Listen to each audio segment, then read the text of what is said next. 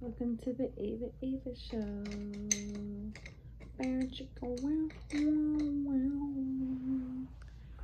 I'm here today with some fire. Wait.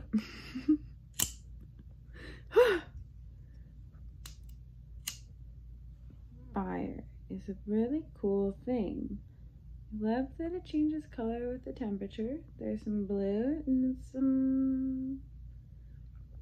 say orange, but if I saw that on the paper, I would say almost indescribable color. Not necessarily orange. I would say peach. That's something for you to know. And um,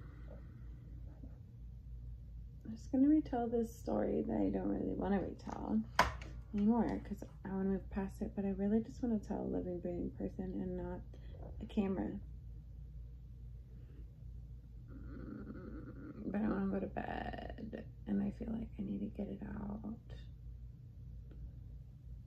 But I can't call the person that I want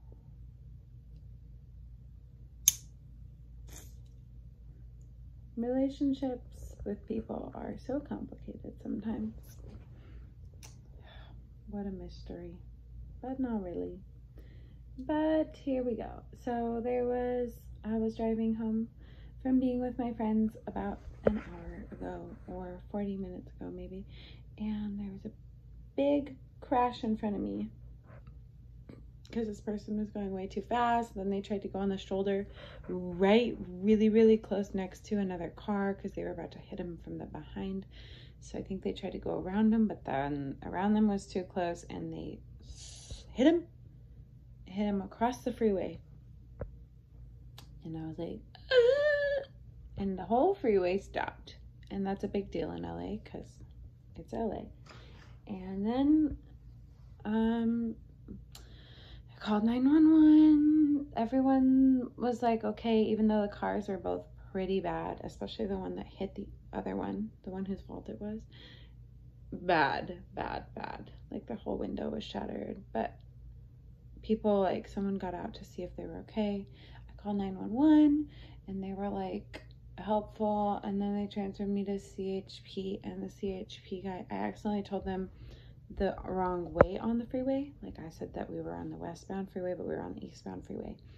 Because, you know, was kind of like trying to figure out what to do there was like gas leaking everywhere on the ground. So it was like, I don't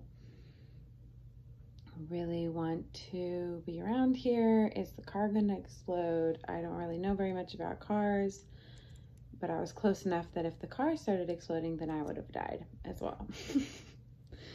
I didn't feel like that to happen if I was on the phone. So I told them westbound, and then the guy was so mean. And I was like, Sir, I'm just trying to help out. And if he kept being rude or needed me longer, I would have said more and been like, I understand that you go through these things all the time and this is your job, but this isn't my job. And if you understand the reaction I had, it's just because I'm stressed and it's really natural for people to say the wrong things when they're stressed. And so please chill out. I wouldn't say that. That would be mean. I would say, please, sir, thank you for having a little grace for me. And maybe you can remember this next time that someone tells you westbound instead of eastbound. It would have taken them maybe about 10 extra minutes, you know, to figure it out because they'd be like, Where's all the car pile up? And then they see that all the traffic is stopped because only one car could really get through at a time. So, it happened, I was all stressed out, and then I was going home, and then I wanted to call my friend, but I can't. And I was like, who do I talk to? And I told God, and I prayed for them, but I love God, and I guess it would be good to practice God's presence more. my friend text me a heart. I like my friends, and then, but then I didn't do that. I did tell God. It didn't feel like that warm, comforting voice that I was wanting. Because God is a little whisper for me most of the time. Um, it's because the pictures from tonight. Then I got home and I was kind of nervous. Like I I know my roommates aren't home, so was getting like a little scared. And also I'm really cold on my arms because it's very cold in here. But my legs are covered, but I'm gonna go to bed soon. And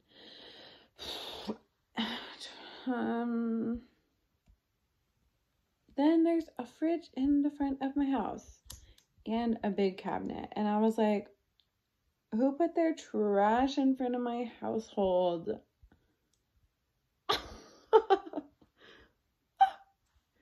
And then I was got out of my car and the neighbor was out and I said, "Hey."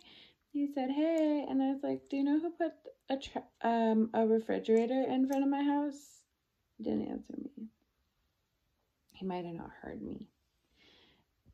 But that's what happened and here I am. And I was just doing something.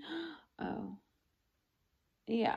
I'm just gonna not watch TV for three weeks for fasting. Well, not when I'm on my own. So I think that'll be a good routine and habit to establish for starting my new job. I'm a little nervous about my new job and also so excited. Um, it's just a really big new routine change and also, there have been so many car troubles lately, and that's not what I'm a fan of. And I don't really want to get an accident. That's just how I've been feeling lately. Had a nice time with my friends though, and I'm still a little brain activated. So I'm gonna figure out something else to do. Might go bother some of my friends with a voice memo. Um, it's a bug. Anyways, I'm happy, healthy, wholesome, and here. So everything's good in the hood. I don't know if I've ever said that phrase, and I'm sorry for anyone I just offended because I think that's really old and outdated and weird for me to be saying. But owie mighty, um, have a great day. And if you have some car accident stories, maybe don't write them in the comments, but maybe you can say, I get it, girl and things like that. Whatever. And I'm so chilly. Okay.